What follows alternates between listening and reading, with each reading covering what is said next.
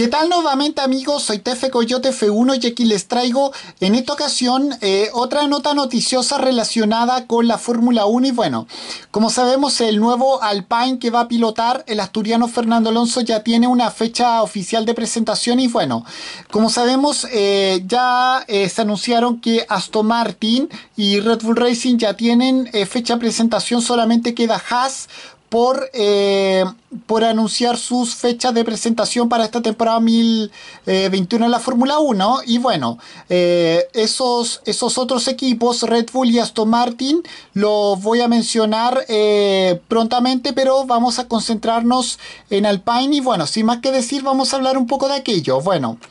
Bueno, curiosa esta temporada 2021 con unas pruebas de, pretemporada bastante avanzadas eh, en el año y con, unas, y con unos monoplazas que están congelados para, eh, para el próximo año que tienen como consecuencia el hecho de que ya se tenga un automóvil totalmente presentado incluso con un filming de realizado. Bueno, ese fue McLaren precisamente, mientras que hasta un total de cuatro equipos, bueno, en realidad uno porque ya porque queda solamente uno por eh, revelar su eh, que todavía no ha dado su fecha de presentación. Bueno, bueno, como sabemos, eh, el equipo Alpine, la estructura Gala que toma el relevo de Renault y que ha recalado el español Fernando Alonso, ya reveló su nueva fecha, que será el próximo día 2 de marzo. Bueno.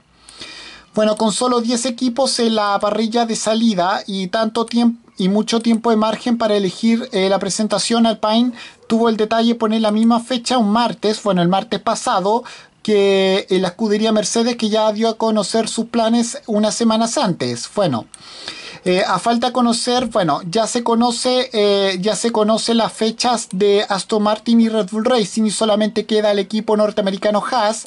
Alpine será uno de los últimos equipos en presentarse porque solamente Williams con eh, fecha de 5 de marzo ya puso un evento más tarde y Alpine inicia una nueva era para este 2021 contando con ella para Esteban Ocon y que que continúe la estructura y que el asturiano Fernando Alonso será eh, su tercera etapa con el equipo con cuartel central domiciliado en Enstone y la primera luego de dos años apartado de la máxima eh, categoría que no de la competición. Bueno, y con esto me despido, adiós, que me fuera, chao.